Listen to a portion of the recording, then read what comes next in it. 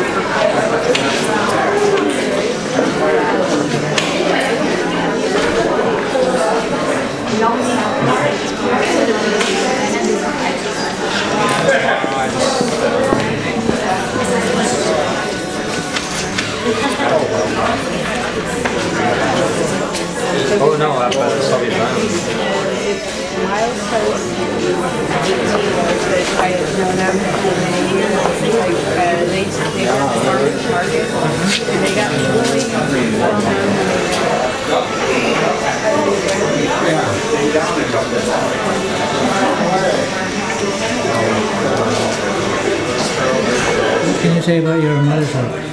It's fabulous. I'm so very proud. It's beautiful. Her work prior to this was extremely large portraits. So um, some of them are housed like Portland State. You, you're gonna be next to the, take that brush. Okay. Or it could be something else. Could be painting, could be photography, Dancing. or um, Oh, I love to dance. see, there you Yeah, go. yeah.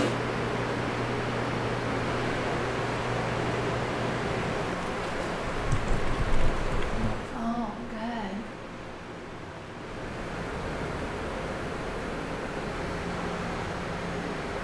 Did so. Hard, yeah, but they're not here for the rest of the time, and it's just like it. I like it. I can't, I can't imagine. The intent of my series is to portray contemporary women. Um, I'm intrigued and challenged by the idea of creating a unique individual. Um, the, their portraits are largely imagined by me, although I do look at fashion models to use as a basis as how they're posed on the canvas. For me, this process has been somewhat like life drawing in that I've tried to be looser and quicker in my execution of the subject. Previous paintings, I've spent up to three to four months, even to a year, on a painting, and these I accomplished in about a week. So it was a totally different process. Uh, when I paint these women, I attempt to portray a spiritual essence and poetic beauty which I believe prevails in all women. Um, these women are common but sophisticated, and they think about global warming, uh, family, friends, uh, the arts, politics, athletic and career aspirations. These mm-hmm. are oil on canvas. Mm-hmm. People that have inf- artists that have I, that I've been influenced by are Picasso, Gustav Klimt, and Elmer Bischoff. Mm-hmm. Most of the other paintings have very simple background, whereas this one, It's more complicated, yes. Is I'm inspired by Elmer Bischoff. I really liked his work and uh, wanted to try a looser background, to accomplish a looser background. And so I went for it. same thing with this uh, painting here, Yeah, right? This right. is also, uh, Yeah, this is inspired by Elmer Bischoff.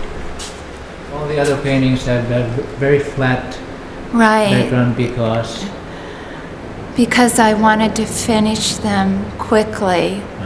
As I related it to life drawing. You usually do not um, put a lot of detail in the background for life drawing. I didn't want to spend very much time on these paintings. Maybe I was a little lazy, I don't know. But but I wanted to be simple. I've been pretty complicated up until now, so I wanted to see what it was like to be simple. that's great. Yeah, that's the way the painting went for me. I Uh-huh. was very frustrated with this painting. I wanted it to be more, Uh-huh. but it just wouldn't, no matter what I did, I couldn't uh, develop it further. Uh-huh. It just seemed to stay like that no matter what I did. So um, I finally gave in to it. This is the way it's going to be. All of these paintings, I could only go so far with them, and then I, I couldn't go beyond that point. They seemed to stop suddenly, and they were completed on their own terms. Uh, Not my terms per se, but their terms.